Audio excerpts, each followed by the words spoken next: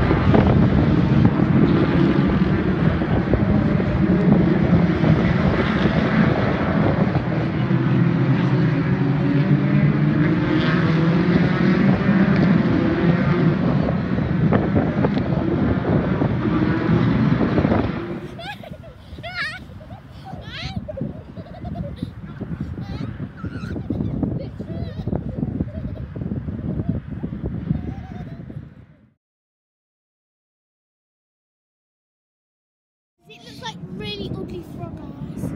Yeah? Okay. In fact, try putting like